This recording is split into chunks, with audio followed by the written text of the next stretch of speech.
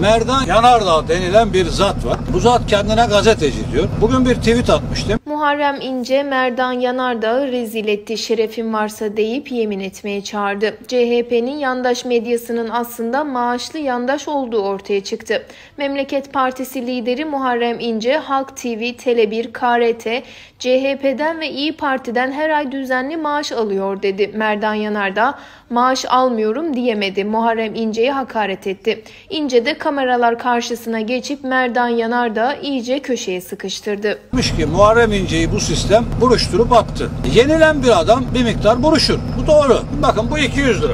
Buruşmamış hali. Bu 2018'den önceki Muharrem İnce. Buruşturduk bunu yenildik. Değerine bakıyorum gene 200 lira. Sokakta gene karşılığı var. Hafif bir ütüye ihtiyacı var. Yine 200 lira. Merdan Yanardağ. Sen mangırsın mangır. Sen ne ütü tutarsın ne buruşursun. Tamam ben buruştum diyelim. Millet yine ütüler düzeliriz. Sana bir soru. CHP'den ayda kaç para alıyorsun kanala? İyi Parti'den kaç para alıyorsun? Ben şerefimin üzerine yemin ederim ki her ay aylık alıyorsun. Sende şeref varsa yemin et bakalım almadığına ya da alıyorsan kaç para alıyorsun? Uyanık. Önce bunu açıkla, tetikçiliği bırak.